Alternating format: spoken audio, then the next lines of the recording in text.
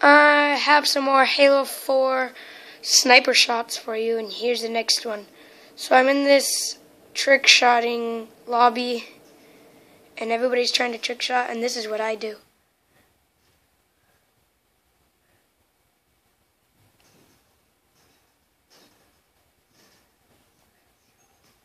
Yeah, I was pretty insane when I did it at the time. So yeah, watch this. I'll do it.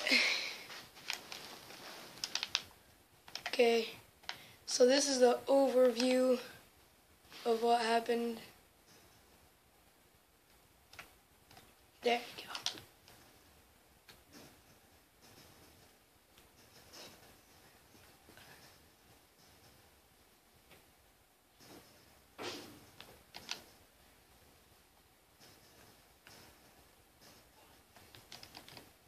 Yeah, here it is again.